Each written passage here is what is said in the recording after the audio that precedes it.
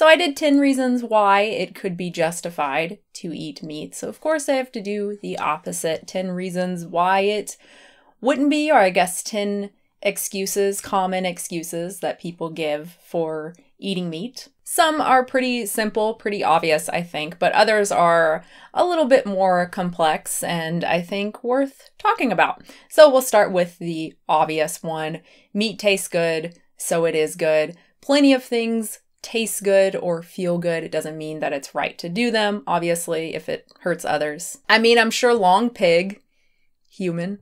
I'm sure that human tastes pretty good if it's properly prepared. So, yeah, the only way that this argument works is if the activity in question is victimless, right? And uh, meat pretty clearly isn't. I named this channel Unnatural Vegan for a reason. Just because something is natural doesn't mean that it's necessarily good, and just because something is unnatural doesn't mean that it's necessarily bad. We can pretty easily think of unnatural man made things that are pretty good, pretty useful. Toilets? On the other hand, a lot of bad things have been with us like since the beginning. I'm not saying that nature is inherently evil or anything like that, but a lot of natural things are are pretty terrible, right? So whether or not something is natural is just not a justification to continue doing something when we don't need to.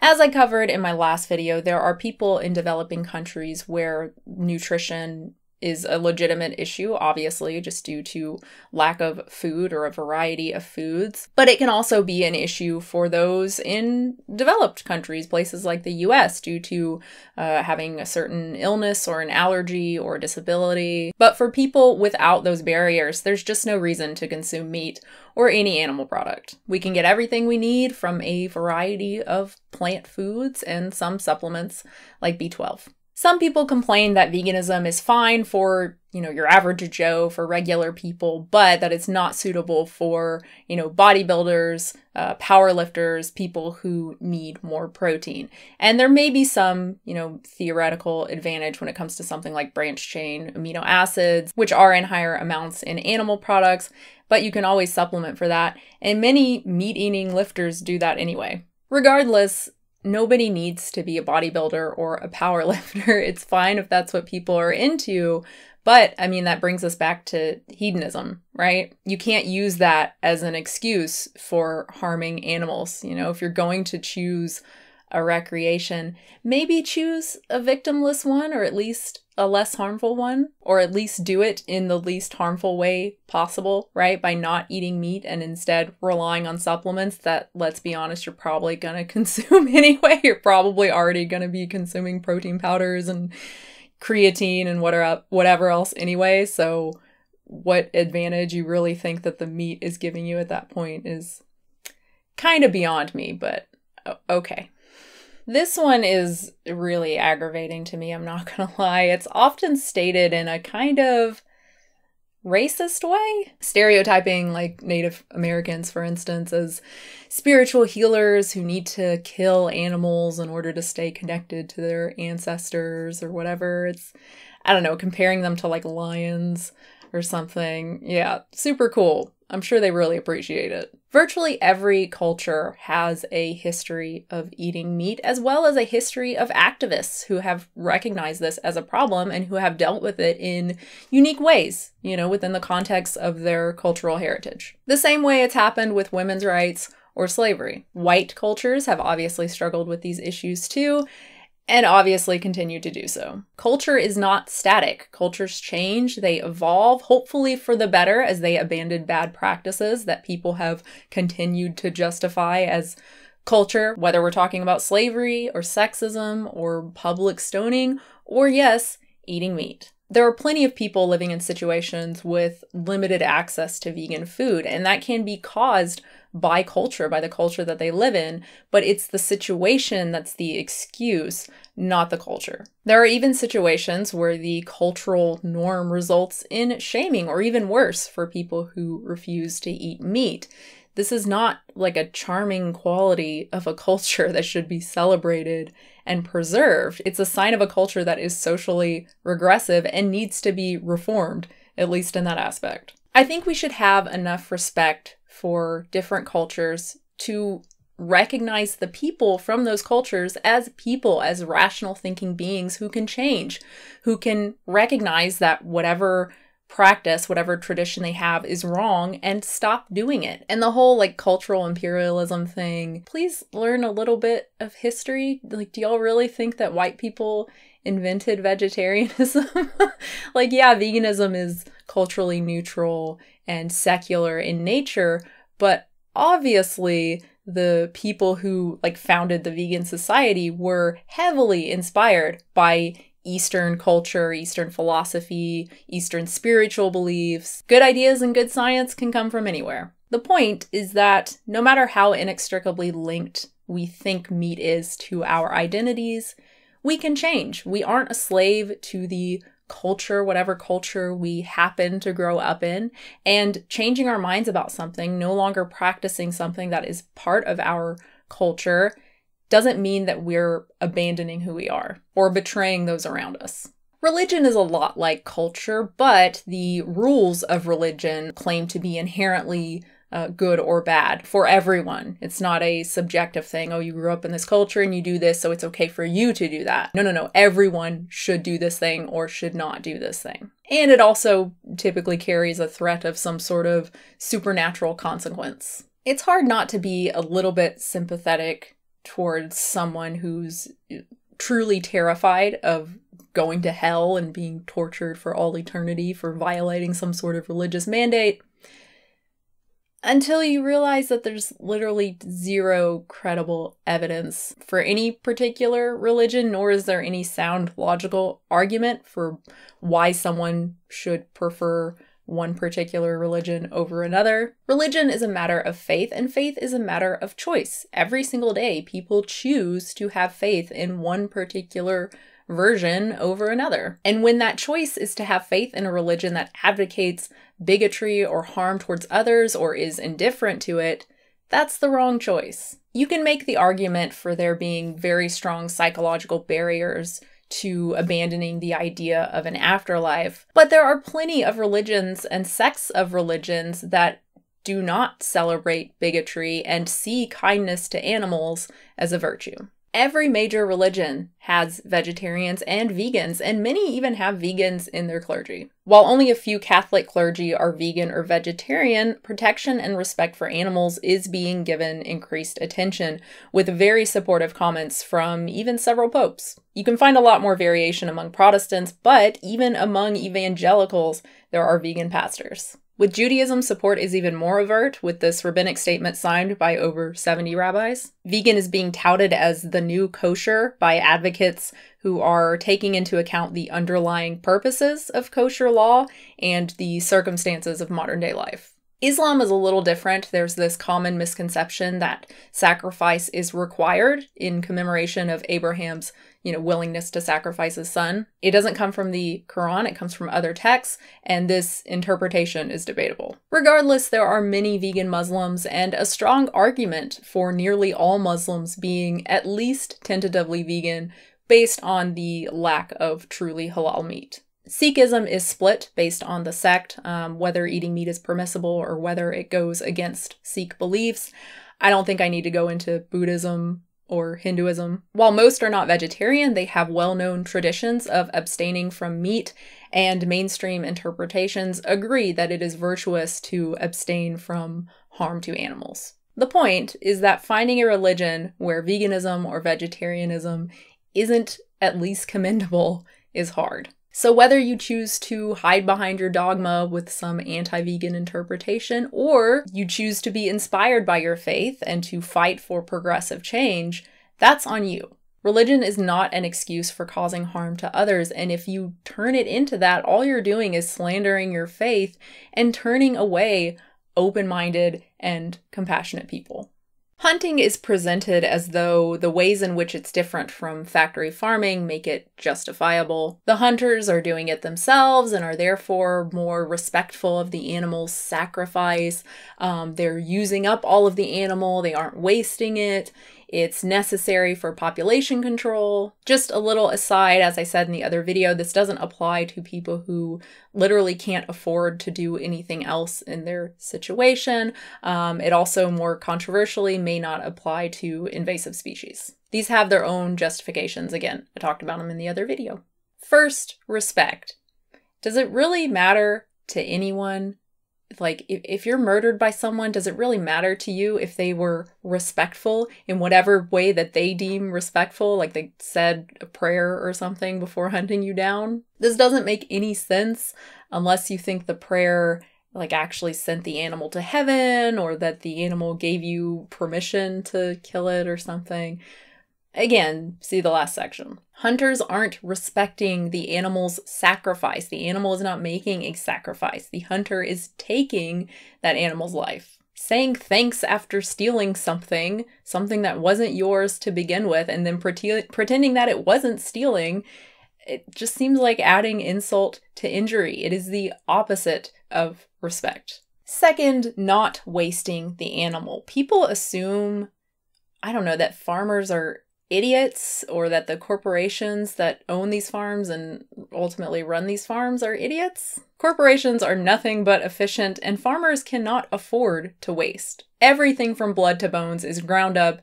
and reused in agriculture. Now, when it comes to the consumer side, that's different. People do waste a lot of what they buy. But how much do you want to bet that a lot of unconsumed hunted meat goes to waste too? And for the hunters, it's very likely that the production side, that the harvesting of this animal is also very wasteful. It's more likely that large portions of the animal are being wasted or underutilized simply because the hunter does not have the infrastructure in place to make use of them, unless your average hunter has a bone grinding machine in his shed. Finally, population control. This is actually a very profitable myth for land management organizations. The people who sell hunting licenses are highly incentivized to maximize populations of hunted animals like deer in order to sell as many licenses as possible. They can range from around $20 to over $100. Across the board, it's something a lot of hunters complain about, but these agencies rely on these fees. When populations are below demand, they'll clear trees to make areas that yield grass and edge environments between grass and forests where deer like to hang out, which increases growth and fertility. The USDA actually publishes documents complete with diagrams to show how to maximize deer environments. As a consequence of this and other human actions, the population of white-tailed deer here in the US is higher than it's ever been in recorded history. When it's done by land management for hunting purposes, it's a form of animal agriculture like any other, just with a different means of sale and harvesting and run by the state. It's also not without its consequences to the climate, since deer are ruminants just like cows and burp methane just like cows. Arguably worse per yield of meat because animals that forage they grow more slowly, they have lower carcass weights than feedlot finished cows. But what about controlling populations in forest abutting suburbs? Ultimately, the most reliable way to do it is to control food sources, but if that can't be done fast enough or effectively, there are non lethal methods to control deer population. The Humane Society has pioneered the use of a vaccine contraceptive for deer, and it has been approved by the EPA. There's no reason to think we have to hunt deer or that hunting is justified in light of modern technology. Okay, it's marginally better. Where's my dang sweatshirt? Regenerative agriculture, as it's used in defense of meat, is the claim that we need grazing cattle to save the planet because it captures CO2 and restores the soil. You know, the Allan Savory guy. These claims broadly demonize plant agriculture as destructive, despite grazing being a main contributor to desertification and cattle being a major contributor to climate change. But wait, they'll say, that's not true. Regenerative agriculture, if they did it right and followed these arbitrary, not at all evidence based rules, then it would have restored the soil somehow, in some way. It's no true Scotsman, right? Make a bold claim and then say that any counterexample isn't really a counterexample because it's not really the thing that you're talking about you can never prove it wrong because they'll just keep moving the goalposts and saying that whatever it is you're claiming is the thing that didn't work, well, it wasn't really the thing, right? It's not really regenerative agriculture. Meanwhile, never providing any real evidence for their claims. There are a number of studies on this issue that have debunked these claims, and of course, the scientific consensus is that beef in particular, however it's produced, is a leading driver in climate change. Some amounts of carbon can be sequestered by some grazing practices on some land, but they can also be released by bad management, and the soil's capacity for holding carbon is limited. Once it reaches an equilibrium, it stops sequestering more carbon, but the methane emissions remain. Sequestration from good management only slightly reduces the impact of grazing. It does not eliminate it, and it certainly doesn't reverse it. You dummies. You just want so badly for this to be true. It's it's a religion at this point. It's a really weird, really sad religion. This is a nice summary from the Food Climate Research Network. They clearly break down all of the misconceptions of regenerative agriculture from the myth of manure as a source of nitrogen to the idea that it makes for a reliable form of carbon sequestration to fight climate change. It doesn't. When you follow actual studies and look at the scientific consensus, it is clear that plant based diets are just better for the environment. Saving the environment with meat just isn't a thing. Unless you're talking about like oysters and insects, then you may have an argument. Speciesism is the discrimination of another based solely on species. That's not to say there aren't other reasons for different treatment, but if that were the real reason, then meat eaters would have no problem eating, say, very young children who have a similar level of self awareness to farmed animals. And yes, farmed animals are sentient, or conscious or whatever you want to call it. That is not something that vegans made up. It is overwhelming consensus among the relevant scientific fields. Speciesist arguments just come down to we're human and they aren't. And and that's it. Morality only protects humans. Non-humans are not protected. They're not considered, and so we can do with them what we like. But of course, you know, most people don't think it's okay to just kill a dog, so yeah, they're not they're not always the most consistent. The obvious problem with this is that it allows for any arbitrary discrimination. You might as well say that morality only protects white dudes. It's ultimately just selfish, right? I mean, we don't respect animals and we don't value them because it's easier not to. They taste good. People advocating for social contract as an excuse aren't hard to miss, although it's not always clear what they mean by that. Do they mean that whatever laws a society holds, that's that's the thing, that's what's moral, it's fine as long as it's legal? Probably not, and I don't think I have to explain how obviously wrong that is. Are they appealing to some idealized form of social contract? When they are, it seems to have a pretty inconsistent cutoff. Rational agent aka human, even though, again, young children or the intellectually disabled have similar levels of rational agency to the animals that they eat.